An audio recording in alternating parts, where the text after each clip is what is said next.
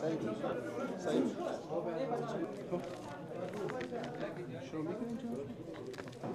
موافقتنامه بسیار مهم است. یکی از منابع اصلی مشروعیت سیاسی حکومت آینده است و طبعا چیزی که کمیسیون اعلان می‌کنه او نتیجه است که اعلان می‌کنه کمیسیون. ما به او میپذیریم.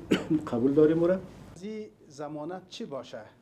که دو با تطبیق از این سند و با ایجاد حکومت وحدت ملی افغانستان وارد یک مرحله جدید تاریخی میشه که در او نخبگان سیاسی برای خدمتگذاری به مردم متحدا عمل می‌کنن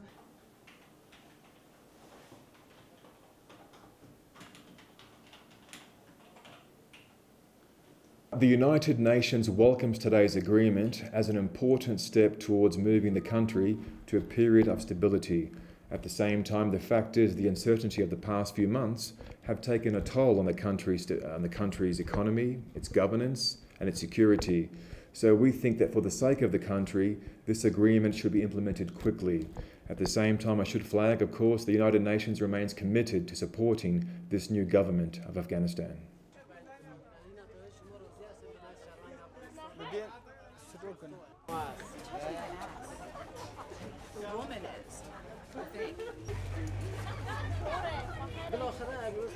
آه بسیار راضی هستم.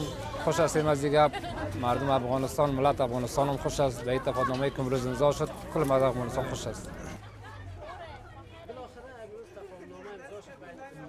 د انتخابات نه موږ ډیر ناراضي. ځکه چې ټول ټول بحرانونه رامنځته کړه وطن کې بحران رامنځته کړ